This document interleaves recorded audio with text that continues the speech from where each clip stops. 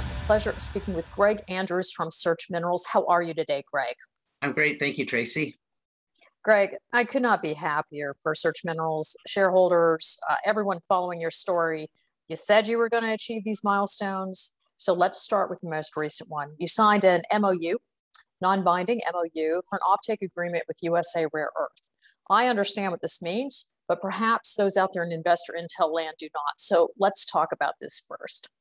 Sure. Yeah, signing the MOU with an offtake agreement is important for us as as what it does is it it sort of validates that you know when we get into production that we have sales at the end of the day. The 500 tons per annum that we signed with US Rare Earth would represent about a third of the production that we anticipate from our Foxtrot and Deep Fox uh, deposits. So it's really important that we we continue down that supply chain uh, for our funding partners. That was that's important for them to see the credibility and validity of our project in that sense.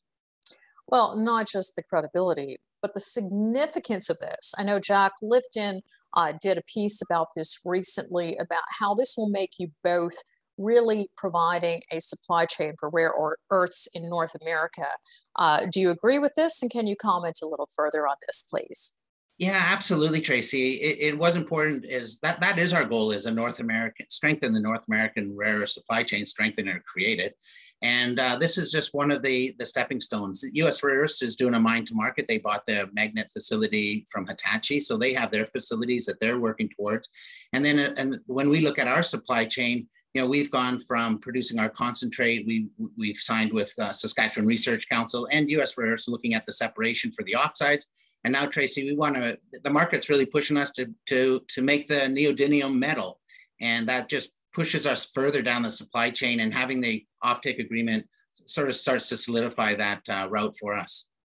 Speaking of route, I actually think you called it the sprint to production, or was it race to production? We we say sprint to production, Tracy, and and it really kickstarted in February when they, uh, you know, the you know, search has been in the headwinds for you know in all rare companies for the last five years, but the tailwinds sort of started shifting in January, February, and we were able to raise uh, some funds, both hard hard funds and flow through funds, which allowed us to do our work programs, which were necessary for our sprint production. When we want to do our sprint production, that involves getting our PEA updated, which we expect that for January and February uh, of uh, 2022. Um, the work that we've done with the funds that we raised, we did 7,000 meters of drilling in our Deep Fox. We we produced 6,000 assays that we've got all the results back. Dr. Randy Miller and his team worked tirelessly to get ours because we've put on tight deadlines for ourselves. In amongst all that, we still did our, our, our Fox Meadow and Silver Fox. They're going to be drill ready for next year too. So a lot of things were accomplished in that short amount of time um, that, that we're very proud of our team that was able to get that done.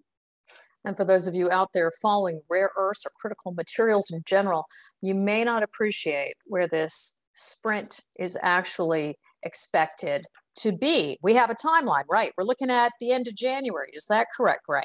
Yeah, and I think uh, Tracy, that's really going to reset um, our business plan because our PA, the only PA we have was from 2016. And so there's really five things that have really changed in significant way from 2016 to the one that we expect. Number one, adding Deep Fox as a resource with Foxtrot will be allowed to increase our production to 2,000 tons per day which is great. Our continued pilot plant work that David Dreisinger has been able to complete has increased the recoveries from 79% to 90%.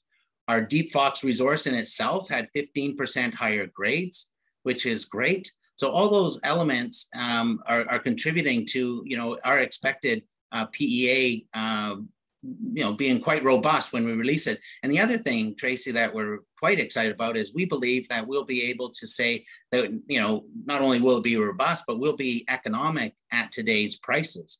As we know the prices have doubled. So our 2016 pa said we're not economic but our prices need to double for us to be economic and now those prices have come to our forecast which is is great for us and while we always attempt to have short, impactful interviews. I have to ask you one more question because you touched on this already. You mentioned uh, Dr. Miller, right? Dr. Randy Miller, Dr. David Dreisinger. One of the things we've been discussing on Investor Intel, some of the news lately about another rare earth exploration product, uh, project that lots of money had been invested in, had to be withdrawn at for now because they just can't find the talent to get it done. So if you could just talk about your talent, uh, some people may appreciate being reminded of what you have put together because you have been building this for some time and you have some of the most talented players in the rare earth uh, processing uh, supply chain on your team already. Congratulations. Thanks, Tracy. Well, one of the things when we entered this space was was um, you know to be that low cost capital cost producer, low operating costs, and we look at you know four pillars really defining the rare earth space. Whereby number one pillar is the resource, and number two that you have to be able to process it. Number three, you need to be able to separate it, and number four, you need to have the offtake. So when I look at my four pillars and I say Dr. Randy Miller managing the resource, that's a check mark.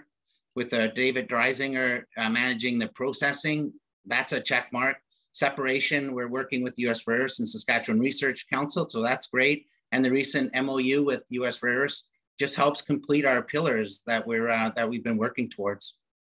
Well, speaking of pillars that most people don't discuss, is you have perhaps the friendliest group of shareholders I've ever seen in my entire life.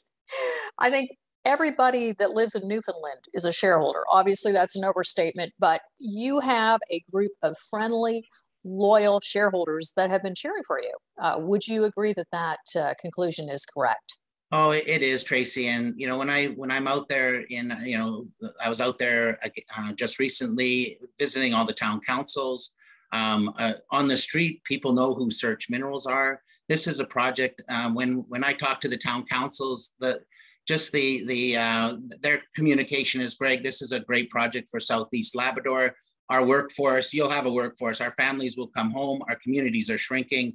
You know, we really this this is a project that that the province is really taking notice of, and the shareholders have been have been loyal with us since they invested in since 2011, waiting for waiting for us to complete our job. And, and with that, we just constantly thank our shareholders, our, our Indigenous partners, the NunatuKavut Community Council, provincial government, federal government, all those people that uh, have invested in us when the rare earth wasn't really capturing the investment dollars, but it, it captured their, their dollars and imagination.